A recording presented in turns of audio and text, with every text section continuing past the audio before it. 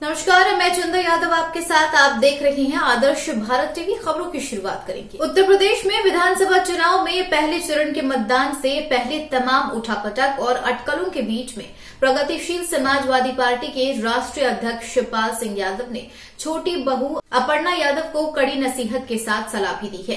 Internet media पर अपर्णा यादव को Bharatiya Janata party में शामिल होने की खबरों के बीच में ही शिवपाल सिंह यादव ने उनको फ़िलहाल समाजवादी पार्टी के लिए काम करने की सलाह दी है। वहीं आपको बताते चले, प्रगतिशील समाजवादी पार्टी के मुखिया शिवपाल सिंह यादव ने सपा के संरक्षक मुलायम सिंह यादव की छोटी बहू अपर्णा यादव के भारतीय जनता पार्टी में शामिल होने की अटकलों पर मोर्चा संभाल लिया है। शिवपाल सिंह यादव ने अपर्णा यादव को फ़िलहाल तो साफ़ तौर पर समाजवादी पार्टी में ही रहने की सलाह दी है।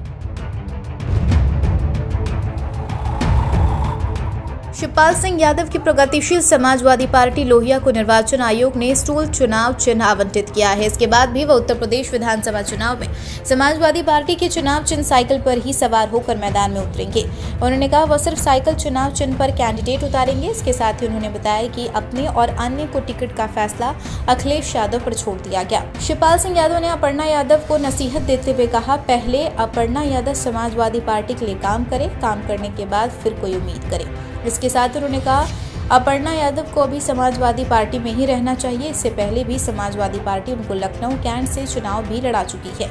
समाजवादी पार्टी के संरक्षक मुलायम सिंह यादव ने उनके लिए प्रचार भी किया था। कम से कम इन बातों का तो उन्हें ध्यान में रखना चाहिए। तमाम खबरों को आप फेसबुक पर देख रहे हैं तो ज़्यादा से ज़्यादा लाइक करें और साथ ही तमाम खबरों को यूट्यूब पर देख रहे हैं तो लाइक करें शेयर करें। हमारे चैनल आदर्श भारत टीवी को सब्सक्राइब करें।